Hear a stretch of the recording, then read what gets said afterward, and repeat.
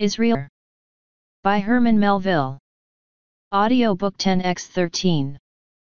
Descrying the five cruisers sailing down, the 40 sail, like 40 chickens, flut fluttered in a panic under the wing of the shore. Their armed protectors bravely steered from the land, making the disposition for battle.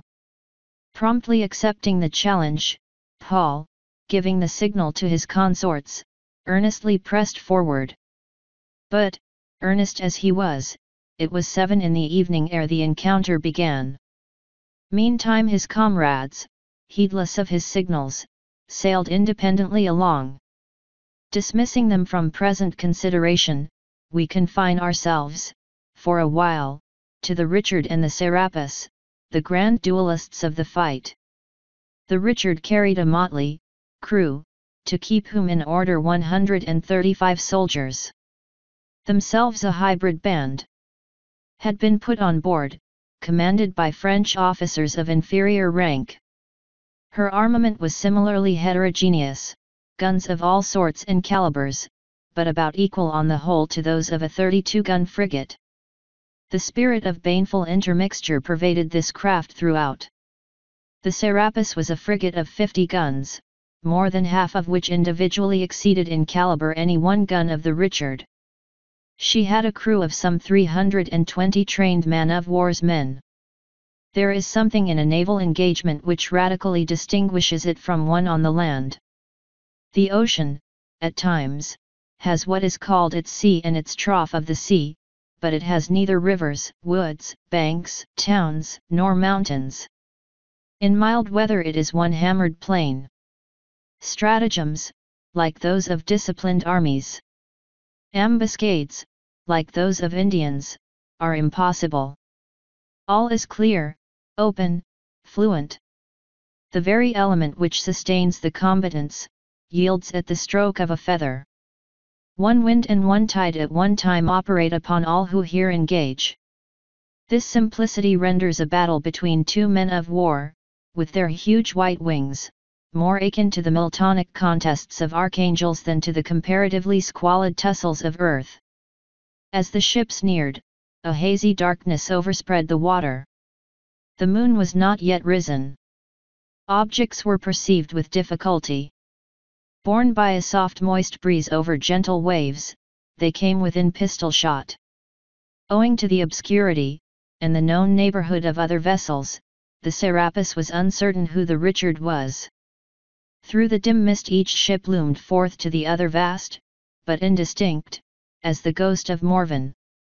Sounds of the trampling of resolute men echoed from either hull, whose tight decks dully resounded like drumheads in a funeral march. The Serapis hailed. She was answered by a broadside.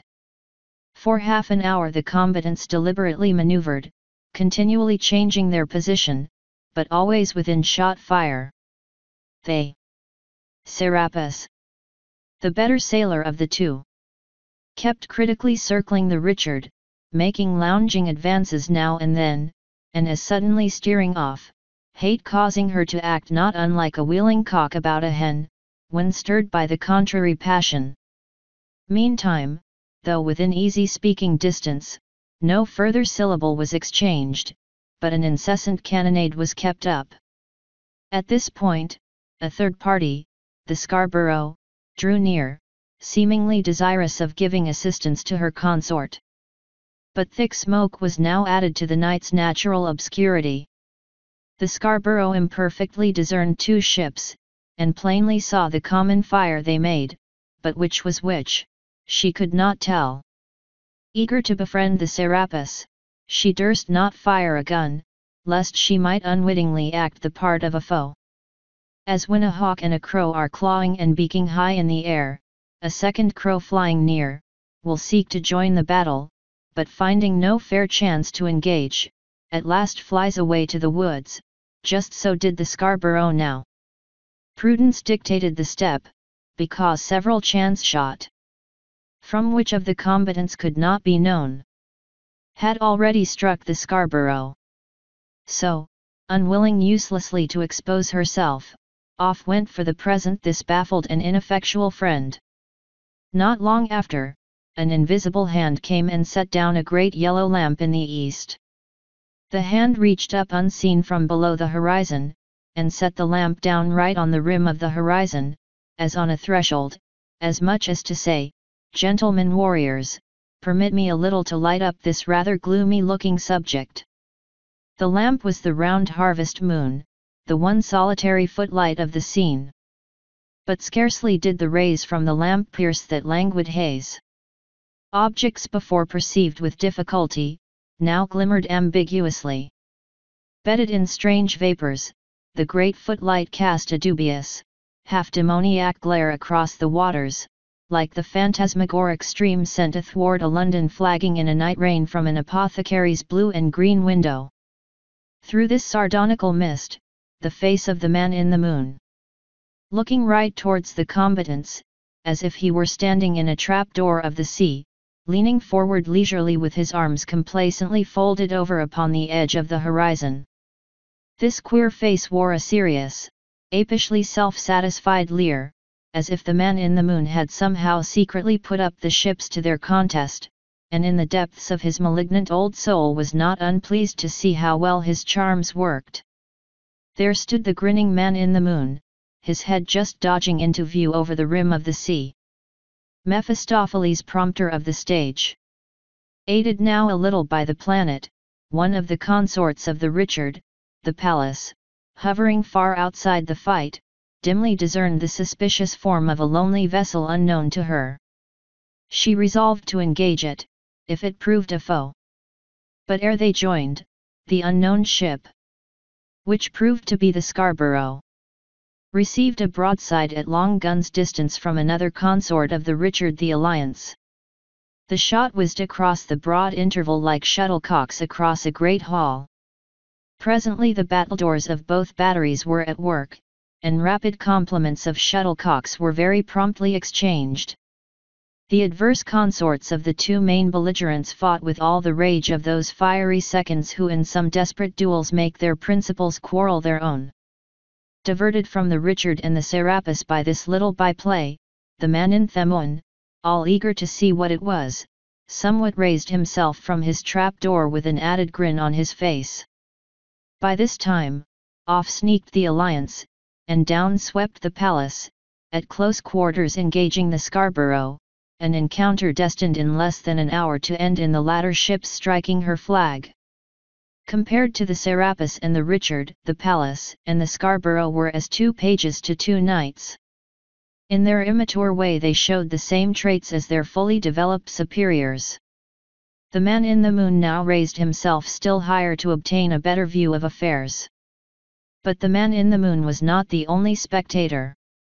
From the high cliffs of the shore, and especially from the great promontory of Flamborough Head, the scene was witnessed by crowds of the islanders. Any rustic might be pardoned his curiosity in view of the spectacle, presented. Far in the indistinct distance fleets of frightened merchantmen filled the lower air with their sails, as flakes of snow in a snowstorm by night. Hovering undeterminedly, in another direction, were several of the scattered consorts of Paul, taking no part in the fray. Nearer, was an isolated mist, investing the Pallas and Scarborough. A mist slowly adrift on the sea, like a floating isle, and at intervals irradiated with sparkles of fire and resonant with the boom of cannon. Further away, in the deeper water, was a lurid cloud, incessantly torn in shreds of lightning, then fusing together again, once more to be rent. As yet this lurid cloud was neither stationary nor slowly adrift, like the first mentioned one, but, instinct with chaotic vitality, shifted hither and thither, foaming with fire, like a valiant waterspout careering off the coast of Malabar. To get some idea of the events enacting in that cloud, it will be necessary to enter it, to go and possess it, as a ghost may rush into a body, or the devils into the swine, which running down the steep place perished in the sea, just as the Richard is yet to do. Thus far the Serapis and the Richard had been maneuvering and chasing to each other like partners in a cotillion, all the time indulging in rapid repartee. But finding at last that the superior manageableness of the enemy's ship enabled him to get the better of the clumsy old Indiaman, the Richard, in taking position, Paul, with his wonted resolution, at once sought to neutralize this, by hugging him close. But the attempt to lay the Richard right across the head of the Serapis ended quite otherwise, in sending the enemy's jib boom just over the Richard's great tower of Pisa, where Israel was stationed, who, catching it eagerly, stood for an instant holding to the slack of the sail, like one grasping a horse by the mane prior to vaulting into the saddle. I, hold hard, lad, cried Paul, springing to his side with a coil of rigging. With a few rapid turns he knitted himself to his foe. The wind now acting on the sails of the Serapis forced her, heel and point, her entire length, cheek by jowl, alongside the Richard. The projecting cannon scraped, the yards interlocked, but the hulls did not touch. A long lane of darkling water lay wedged between, like that narrow canal in Venice which dozes between two shadowy piles, and high in air is secretly crossed by the bridge of sighs. But where the six-yard arms reciprocally arched overhead, three bridges of sighs were both seen and heard, as the moon and wind kept rising. Into that Lethean canal. Pond-like in its smoothness as compared with the sea without. Fell many a poor soul that night, fell, forever forgotten.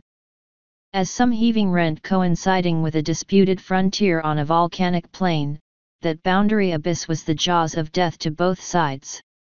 So contracted was it, that in many cases the gun rammers had to be thrust into the opposite ports, in order to enter to muzzles of their own cannon.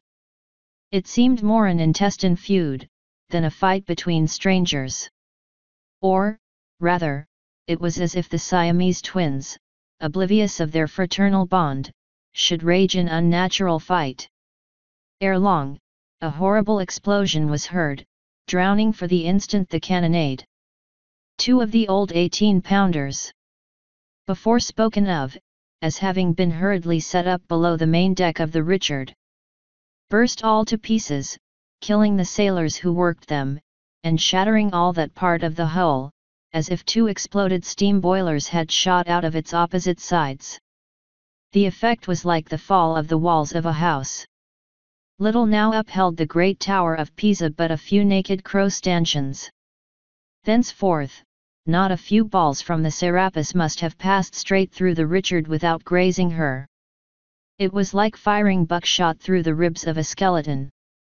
But, further forward, so deadly was the broadside from the heavy batteries of the Serapis. Leveled point blank, and right down the throat and bowels, as it were, of the Richard. That it cleared everything before it.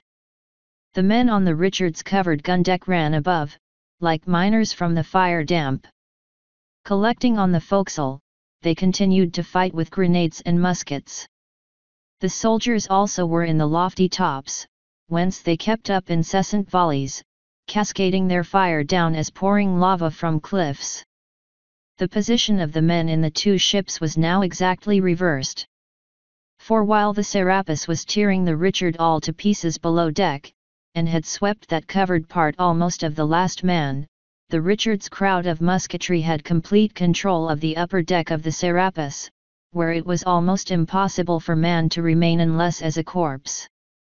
Though in the beginning, the tops of the Serapis had not been unsupplied with marksmen, yet they had long since been cleared by the overmastering musketry of the Richard. Several, with leg or arm broken by a ball, had been seen going dimly downward from their giddy perch, like falling pigeons shot on the wing. As busy swallows about barn eaves and ridge poles, some of the Richard's marksmen, quitting their tops, now went far out on their yard arms, where they overhung the Serapis. From thence they dropped hand grenades upon her decks, like apples, which growing in one field fall over the fence into another. Others of their band flung the same sour fruit into the open ports of the Serapis. A hailstorm of aerial combustion descended and slanted on the Serapis, while horizontal thunderbolts rolled crosswise through the subterranean vaults of the Richard. The belligerents were no longer, in the ordinary sense of things, an English ship and an American ship. It was a CO partnership and joint stock combustion company of both ships, yet divided, even in participation. The two vessels were as two houses, through whose party wall doors have been cut, one family, the Guelphs, occupying the whole lower story, another family, the Ghibellines, the whole upper story. Meanwhile, determined Paul flew hither and thither like the meteoric corposant ball, which shiftingly dances on the tips and verges of ships' rigging in storms. Wherever he went, he seemed to cast a pale light on all faces. Blacked and burnt, his Scotch bonnet was compressed to a gunwad on his head. His Parisian coat, with its gold-laced sleeve laid aside, disclosed to the full the blue tattooing on his arm, which sometimes in fierce gestures streamed in the haze of the cannonade, cabalistically terrific as the charmed standard of Satan.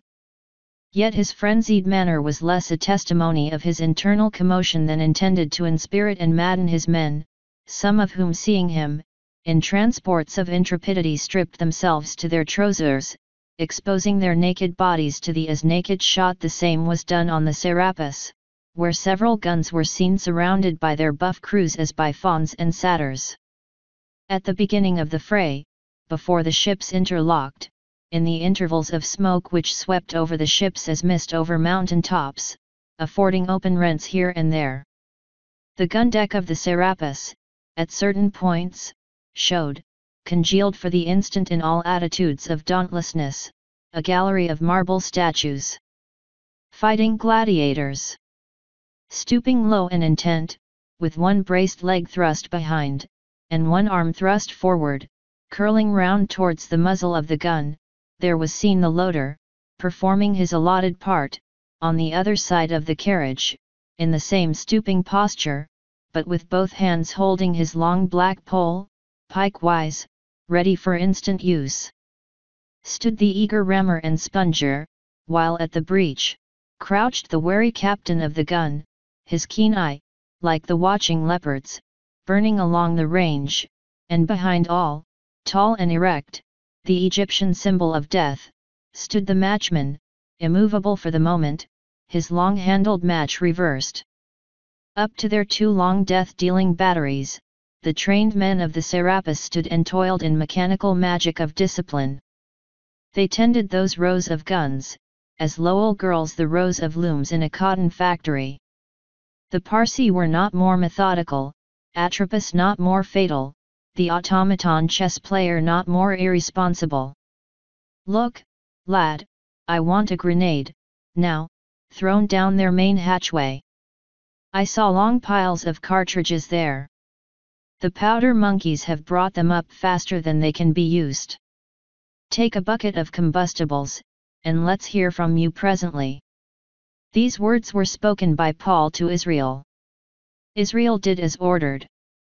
In a few minutes, bucket in hand, begrimed with powder, sixty feet in air, he hung like a Apollyon from the extreme tip of the yard over the fated abyss of the hatchway. As he looked down between the eddies of smoke into that slaughterous pit, it was like looking from the verge of a cataract down into the yeasty pool at its base. Watching, his chance, he dropped one grenade with such faultless precision, that, striking its mark, an explosion rent the Serapis like a volcano. The long row of heaped cartridges was ignited. The fire ran horizontally, like an express on a railway. More than 20 men were instantly killed. Nearly 40 wounded. This blow restored the chances of battle, before in favour of the Serapis. But the drooping spirits of the English were suddenly revived, by an event which crowned the scene by an act on the part of one of the consorts of the Richard, the incredible atrocity of which has induced all humane minds to impute it rather to some incomprehensible mistake than to the malignant madness of the perpetrator. The cautious approach and retreat of a consort of the Serapis, the Scarborough, before the moon rose, has already been mentioned. It is now to be related how that, when the moon was more than an hour high, a consort of the Richard, the Alliance, likewise approached and retreated. This ship, commanded by a Frenchman, infamous in his own navy, and obnoxious in the service to which he at present belonged, this ship, foremost in insurgency to Paul hitherto, and which, for the most part, had crept like a poltroon from the fray, the alliance now was at hand. Seeing her, Paul deemed the battle at an end. But to his horror, the alliance threw a broadside full into the stern of the Richard, without touching the Serapis. Paul called to her, for God's sake to forbear destroying the Richard. The reply was, a second, a third, a fourth broadside, striking the Richard ahead, astern, and amidships. One of the volleys killed several men and one officer. Meantime, like carpenter's augers, and the sea worm called remora, the guns of the Serapis were drilling away at the same doomed hull. After performing her nameless exploit, the Alliance sailed away, and did no more. She was like the Great Fire of London, breaking out on the heel of the Great Plague. By this time, the Richard had so many shot holes low down in her hull, that like a sieve she began to settle. Do you strike? cried the English captain. I have not yet begun to fight, howled sinking Paul. This summons and response were whirled on eddies of smoke and flame. Both vessels were now on fire. The men of either knew hardly which to do, strive to destroy the enemy, or save themselves. In the midst of this, 100 human beings, hitherto invisible strangers, were suddenly added to the rest. Five score English prisoners, till now confined in the Richard's hold, liberated in his consternation by the master-at-arms, burst up the hatchways. One of them, the captain of a letter of marque, captured by Paul, off the Scottish coast, crawled through a port, as a burglar through a window, from the one ship to the other, and reported affairs to the English captain. While Paul and his lieutenants were confronting these prisoners, the gunner, running up from below, and not perceiving his official superiors, and deeming them dead, believing himself now left sole surviving officer, ran to the tower of Pisa to haul down the colours but they were already shot down and trailing in the water astern, like a sailor's towing shirt. Seeing the gunner there, groping about in the smoke, Israel asked what he wanted. At this moment the gunner, rushing to the rail, shouted quarter. Quarter. To the Serapis. I'll quarter yet, yelled Israel, smiting the gunner with the flat of his cutlass. Do you strike? now came from the Serapis. I, I, I. Involuntarily cried Israel, fetching the gunner a shower of blows. Do you strike? Again was repeated from the Serapis, whose captain, judging from the augmented confusion on board the Richard, owing to the escape of the prisoners, and also influenced by the report made to him by his late guest of the porthole, doubted not that the enemy must needs be about surrendering. Do you strike? I. I strike back roared Paul, for the first time now hearing the summons. But judging this frantic response to come, like the others, from some unauthorized source, the English captain directed his boarders to be called, some of whom presently leaped on the Richard's rail, but, throwing out his tattooed arm at them, with a sabre at the end of it, Paul showed them how boarders repelled boarders. The English retreated, but not before they had been thinned out again, like spring radishes, by the unfaltering fire from the Richard's tops. An officer of the Richard, seeing the mass of prisoners delirious with sudden liberty and fright, pricked them with his sword to the pumps, thus keeping the ship afloat by the very blunder which had promised to have been fatal. The vessels now blazed so in the rigging that both parties desisted from hostilities to subdue the common foe. When some faint order was again restored upon the Richard her chances of victory increased, while those of the English, driven under cover, proportionably waned. Early in the contest, Paul, with his own hand, had brought one of his largest guns to bear against the enemy's mainmast. That shot had hit The mast now plainly tottered. Nevertheless, it seemed as if, in this fight, neither party could be victor. Mutual obliteration from the face of the waters seemed the only natural sequel to hostilities like these.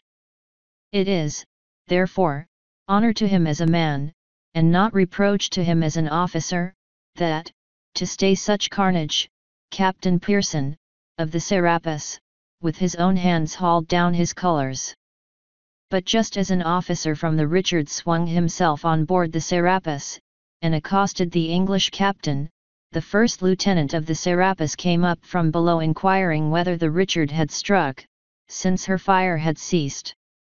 So equal was the conflict that, even after the surrender, it could be, and was, a question to one of the warriors engaged, who had not happened to see the English flag hauled down, whether the Serapis had struck to the Richard, or the Richard to the Serapis.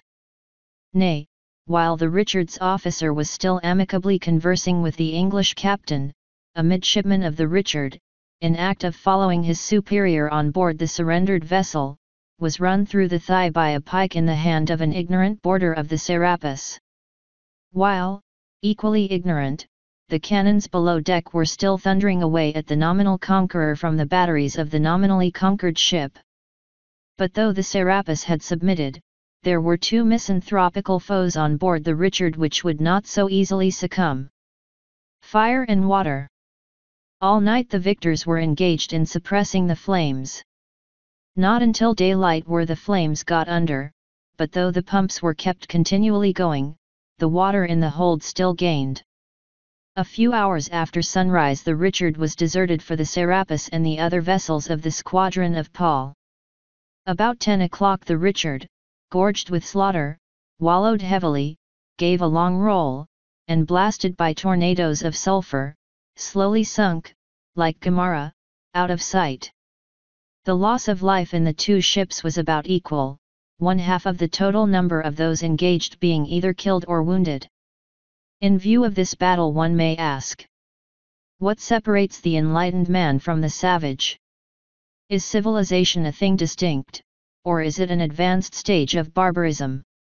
Chapter XX The Shuttle For a time back, across the otherwise blue jean career of Israel, Paul Jones flits and reflits like a crimson thread. One more brief intermingling of it, and to the plain old homespun we return. The battle won, the squadron started for the Texel, where they arrived in safety.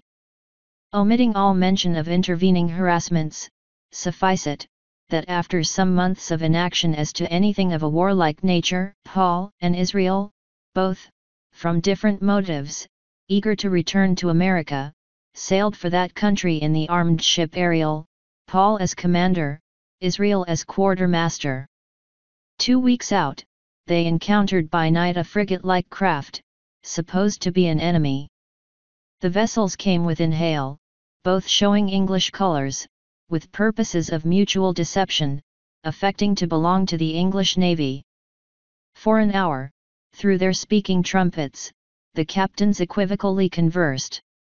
A very reserved, adroit, hoodwinking, statesman-like conversation, indeed.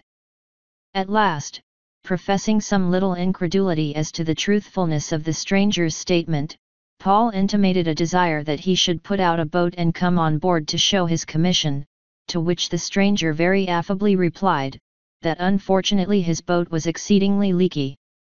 With equal politeness, Paul begged him to consider the danger attending a refusal, which rejoinder nettled the other, who suddenly retorted that he would answer for twenty guns, and that both himself and men were knockdown Englishmen.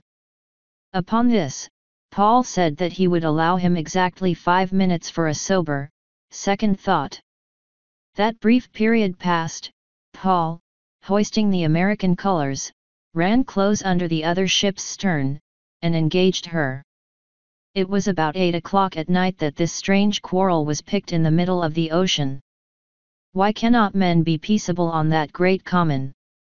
Or does nature in those fierce night brawlers, the billows, set mankind but a sorry example?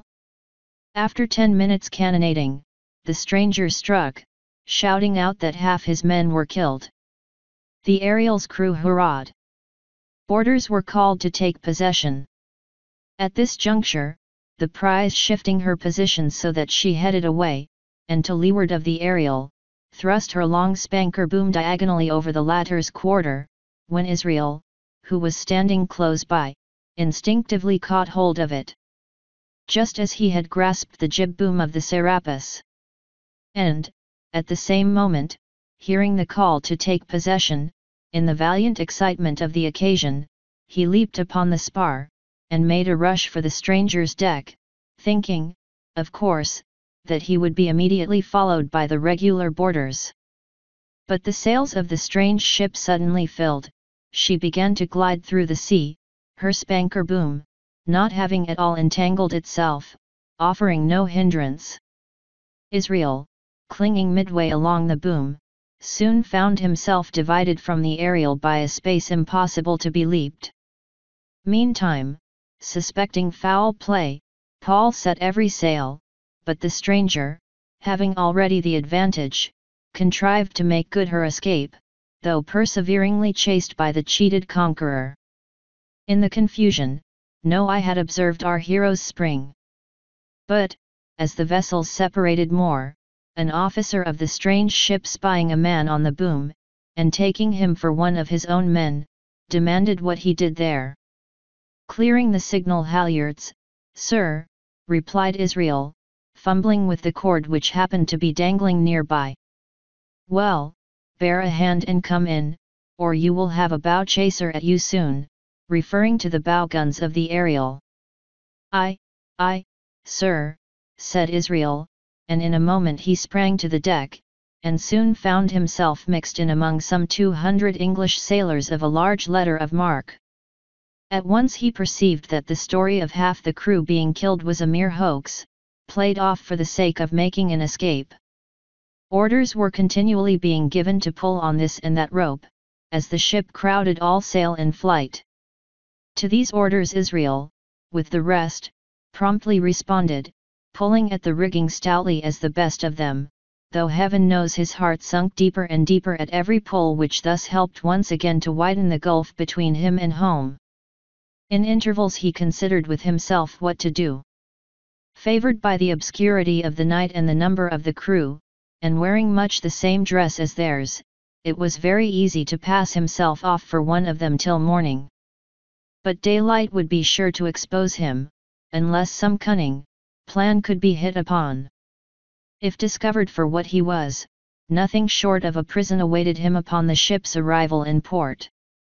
It was a desperate case, only as desperate a remedy could serve.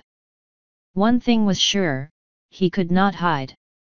Some audacious parade of himself promised the only hope. Marking that the sailors, not being of the regular navy, wore no uniform, and perceiving that his jacket was the only garment on him which bore any distinguishing badge, our adventurer took it off, and privily dropped it overboard, remaining now in his dark blue woolen shirt and blue cloth waistcoat. What the more inspirited Israel to the added step now contemplated, was the circumstance that the ship was not a Frenchman's or other foreigner, but her crew, though enemies, spoke the same language that he did. So very quietly, at last, he goes aloft into the maintop, and sitting down on an old sail there, beside some eight or ten topmen, in an off-handed way asks one for tobacco. Give us a quid, lad, as he settled himself in his seat. Halloo, said the strange sailor, who be you? Get out of the top. The fore and mizzen-top men won't let us go into their tops, and blame me if we'll let any of their gangs come here. So, away ye go. You're blind, or crazy, old boy, rejoined Israel. I'm a top mate, ain't I, lads? Appealing to the rest. There's only ten main topmen belonging to our watch, if you are one, then there'll be eleven, said a second sailor. Get out of the top. This is too bad, mates, cried Israel, to serve an old topmate this way. Come, come, you are foolish. Give us a quid. And, once more, with the utmost sociability, he addressed the sailor next to him. Look yet, returned the other, if you don't make away with yourself, you skulking spy from the mizzen, will drop you to deck like a jewel block. Seeing the party thus resolute, Israel, with some affected banter, descended. The reason why he had tried the scheme. And, spite of the foregoing failure, meant to repeat it. Was this? As customary in armed ships, the men were in companies allotted to particular places and functions.